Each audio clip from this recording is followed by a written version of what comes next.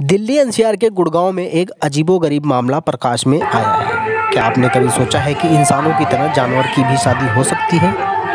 शायद नहीं, लेकिन आप गलत सोच रहे हैं। मामला पालम बिहार एक्सटेंशन का है, जहाँ कुत्ते और कुतिया की शादी कराई गई शादी में सौ से ज़्यादा कार छपवाकर बारातियों को भी आमंत्रित किया गया था। यही नहीं स्वीटी के फेरे और मेहंदी मनोरंजन की रात शादी के लिए बाकायदा बैंड बाजा बारात के साथ मंडप सजाया शेरू और स्वीटी की यह शादी शहर में चर्चा का विषय बनी हुई है स्वीटी की शादी तेरह नवंबर यानी रविवार को हुई, जिसके लिए बैंड बाजा मंडप सब तैयार किया गया था।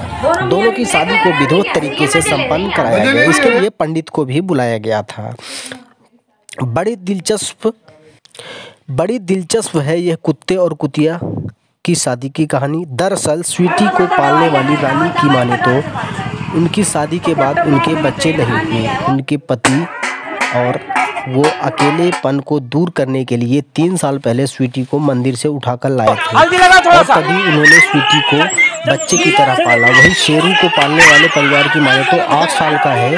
उनके बच्चे जब छोटे थे तब से उनके साथ खेल खेल कर बड़ा हुआ है। यह दोनों परिवार इन कुत्ते और कुतिया को बेटे और बेटी की तरह मानते हैं।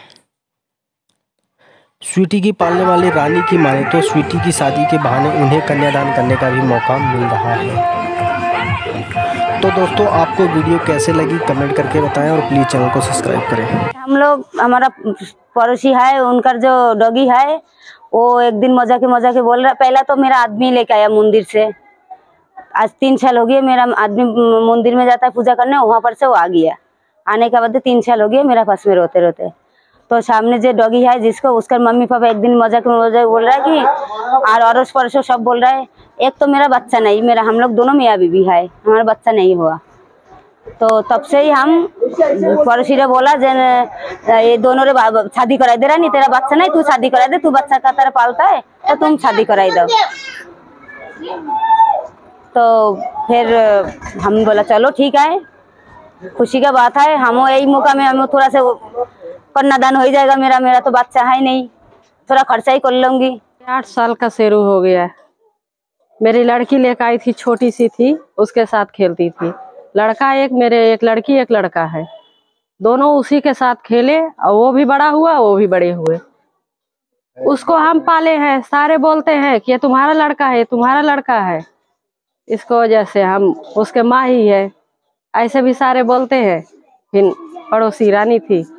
उसकी लड़की हम कहलाओ दोनों को शादी ही कर दे। शादी कब है मैं सक्षम भारत एनजीओ चलाता हूँ और ये जो जिनके ये डॉग्स हैं शेरू और स्वीटी इनके जो ओनर हैं ये हमारे संगठन के कार्यकर्ता हैं। कल ये इन दोनों के जो ओनर ये मेरे ऑफ़िस में आए और इन्होंने मेरे को बताया कि ऐसे ऐसे हम अपने डॉग की शादी कर रहे हैं विधि विधान के साथ।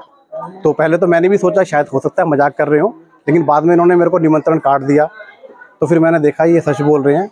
तो मैंने इनसे पूछा क्या क्या प्रोग्राम है? तो इन्होंने बताया, पूरे विधि विधान के साथ हम अपने डॉग की शादी कर रहे हैं, जिसके अंदर हमने सौ लोगों को न्योता दिया है और बैंड बाजे की बैंड बाजे के साथ बारात आएगी खाने पीने का भी बंदोबस्त हमने किया हुआ है, डीजे भी लगाएँगे, फेरे भी होंगे, पंडित जी भी किया हुआ है। तो मैंने कहा कि ठीक है, ये तो बहुत अच्छी बात है। अब और वैसे भी जो लोग डॉग्स पालते